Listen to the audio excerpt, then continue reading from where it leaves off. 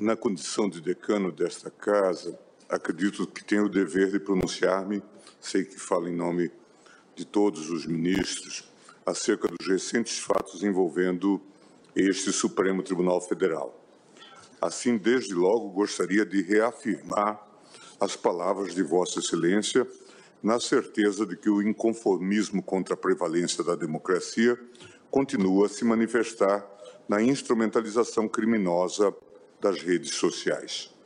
Sem pretender pessoalizar o debate, nem apreciar fatos concretos que podem ser objeto de deliberação por parte do tribunal, acredito que as manifestações veiculadas na rede social X, antigo Twitter, apenas comprovam a necessidade de que o Brasil, de uma vez por todas, regulamente, de modo mais preciso, o ambiente virtual, como de resto ocorre com grande parte dos países democráticos europeus.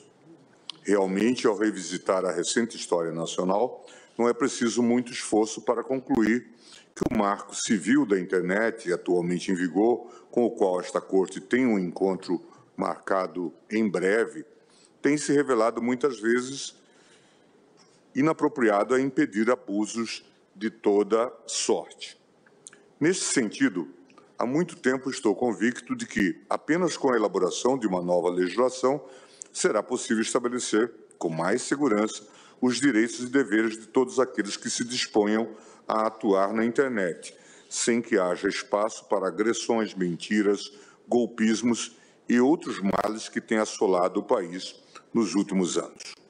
Vale ressaltar que tanto o Digital Service Act europeu como o Online Safety Act do Reino Unido são ótimos exemplos de normas que estabelecem a responsabilidade de todos os atores do ecossistema digital. É preciso que tenhamos clareza sobre o que se passa diante dos nossos olhos. O horizonte democrático desenhado pela Constituição de 1988 foi objeto de ardilosa trama que pretendia subjugar os poderes instituídos contra a vontade popular manifestada nas urnas nas últimas eleições. A sublevação pretendida teve amplo espaço de idealização e mesmo de execução nas redes sociais, sem que os meios de controle então vigentes tenham sido capazes de impedir a sedição. Todas essas circunstâncias ainda estão sendo objeto de apuração nesta Casa sob os rigores do devido processo legal. Tenho certeza de que este Supremo Tribunal Federal, honrando suas melhores tradições, saberá impor a cada um dos envolvidos a devida responsabilização, aplicando a ordem jurídica de forma proporcional e justa na defesa da democracia. Da mesma forma, não tenho dúvida, senhor presidente, de que esta Corte não se furtará a garantir que a ordem jurídica brasileira seja aplicada sem relativizações. Como assentou Vossa Excelência, toda e qualquer empresa que opere no Brasil está sujeita à Constituição Federal, às leis e às decisões das autoridades brasileiras.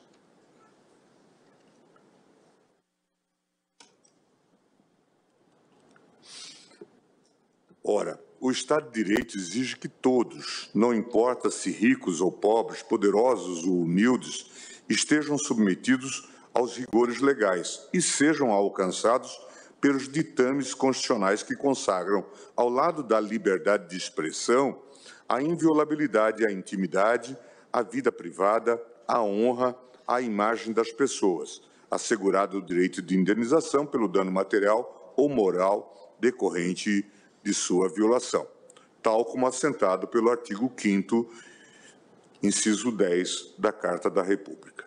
Não é preciso reiterar as múltiplas manifestações desse Supremo Tribunal Federal a atestar que, no contexto republicano, a liberdade de manifestação não se confunde com libertinagem, nem permite veiculação de discursos de ódio dolosamente e muito bem remunerados, propagadores de fake news, não raro endereçados a minar a própria estabilidade institucional da nação brasileira, pondo em xeque pilares básicos de nossa democracia. Não nos enganemos, senhor presidente. Por trás da retórica nefasta que haveria uma liberdade limitada no ambiente virtual, o que existe é mero interesse escuso, voltado à obtenção de rendoso lucro às custas de divulgação de inverdades com propósitos políticos cada vez mais claro, segundo se percebe das investigações realizadas. Por isso, é preciso rechaçar com absoluta veemência declarações tendentes a indicar e insuflar o não cumprimento de determinações judiciais. No Brasil, como em toda e qualquer democracia moderna, deliberações jurisdicionais podem ser analisadas e criticadas, mas jamais podem ser descumpridas dolosamente. Por fim, presidente, gostaria de terminar esta minha fala solidarizando-me com o ministro Alexandre de Moraes, que há muito tempo tem sido vítima de injustas agressões físicas e virtuais.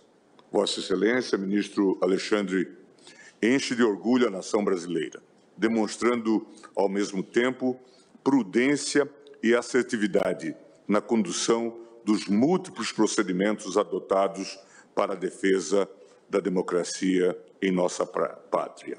Aos propagadores do caos, alerto que as hostilidades endereçada, endereçadas a quaisquer dos ministros desta Casa ofendem a cada um de nós, magistrados, e insulta ainda esta Corte multicentenária, que nunca deixou de exercer seu papel nos momentos mais dramáticos da história nacional. Tenho certeza, senhor presidente, de que nos dias atuais o Supremo Tribunal Federal, mais uma vez, não faltará ao país. Muito obrigado. Muito obrigado, ministro Gilmar Mendes, que se pronuncia em nome do tribunal. O mundo inteiro vive, nesse momento, esta tensão trazida pela desinformação, agravada pelo deepfake, e a liberdade de expressão e a necessidade de preservar as instituições democráticas.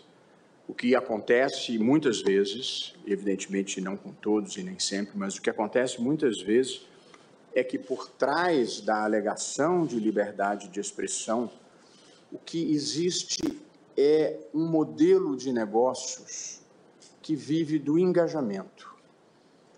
E desafortunadamente, o ódio, a mentira, os ataques às instituições trazem mais engajamento, infelizmente, do que o discurso moderado, do que a notícia verdadeira.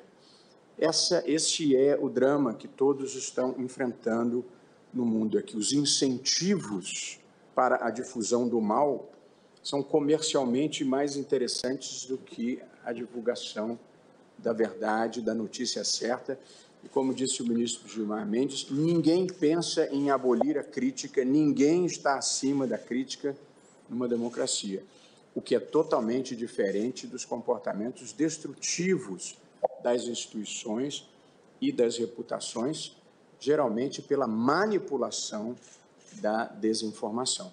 Essa é a batalha que se está travando no mundo.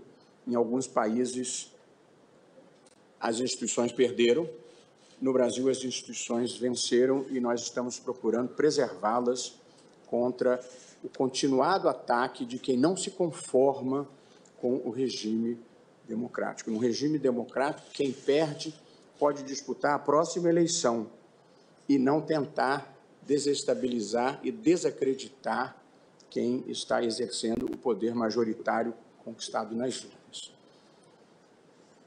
Registro a presença. Presidente. Pois não, ministro Alexandre de Moraes. Boa tarde, presidente. Quero é, cumprimentar Vossa Excelência e todos os nossos é, colegas, é, servidores, advogados. Presidente, rapidamente, nossa questão aqui é de agradecer a Vossa Excelência e hoje as palavras do eminente decano, ministro Gilmar Mendes, e reiterar, presidente, que tenho absoluta convicção que o Supremo Tribunal Federal, a população brasileira, as pessoas de bem, sabem que liberdade de expressão não é liberdade de agressão. sabem que liberdade de expressão não é liberdade para a proliferação do ódio, do racismo, da misoginia, da homofobia. Sabem que liberdade de expressão não é liberdade de defesa da tirania. E talvez, presidente, alguns alienígenas né, não saibam, mas passaram a aprender e tiveram conhecimento né, da coragem e seriedade do Poder Judiciário brasileiro. Agradeço novamente a Vossa Excelência e a todo o plenário do Supremo Tribunal Federal nas palavras do nosso decano, ministro Gilmar Mendes. Obrigado, presidente. Obrigado, ministro.